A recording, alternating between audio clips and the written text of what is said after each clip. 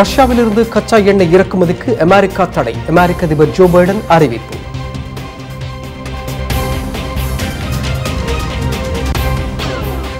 உலக நாடுகளில் அதிக தடைகள் விதிக்கப்பட்ட நாடானது ரஷ்யா. ஈரானை பின்னுக்கு தள்ளி தடைப்பட்டியலில் முதலிடம்.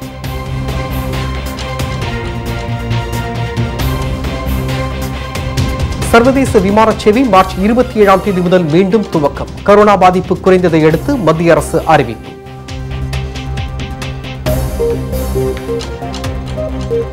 இரண்டாயிரத்தி இருபத்தி இரண்டு இருபத்தி மூன்றாம் ஆண்டுக்கான தமிழக பட்ஜெட் மார்ச் பதினெட்டாம் தேதி தாக்கல். இந்த ஆண்டும் காகிதமில்லா பட்ஜெட் தாக்கல் செய்யப்படும் என சபாநாயகர் அப்பாவு அறிவிப்பு.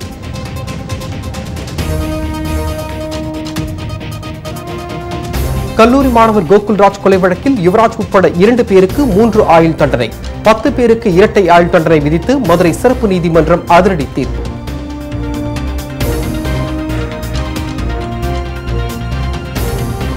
கொடூர கொலை செய்வோர் அனைவருக்கும் இந்த தீர்ப்பு பாடமாக இருக்கும்? தன் மகனின் நிலைமை யாருக்கும் வரக்கூடாது எனவும் கோகுல்ராஜின் தாய் கண்ணீர் பேட்டி.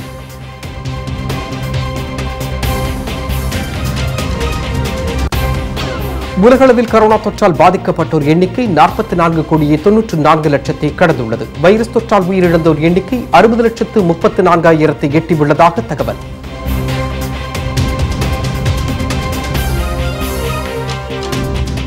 யுக்ரைனில் சிக்கியுள்ள இந்தியர்கள் அனைவரும் உடனடியாக வெளியேற வேண்டும். இந்திய தூதரகம் அறிவுறுத்தல்.